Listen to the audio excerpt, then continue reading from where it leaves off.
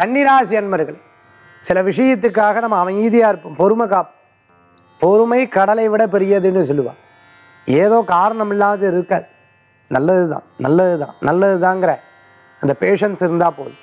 நிச்சயமாக உங்கள் வாழ்க்கையில் ஜெயிக்கிறதுக்குண்டான வாய்ப்புகள் நிறையா இருக்குது புதுசாக சில விஷயங்கள் பண்ணணும் அப்படின்னு நினைக்கிறவாளுக்கு அனுகூல்யம் உண்டு வெற்றி உண்டு. காலத்தை எதிர்பார்த்திருக்க வேண்டாம்.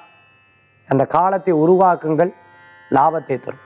அதிர்ஷ்டம் தரக்கூடிய அற்புதமான எண் ஒன்பது நிறம் நீளம் வழிபாட்டுக்குண்டான தெய்வம் மகாலட்சுமி வழிபாடு.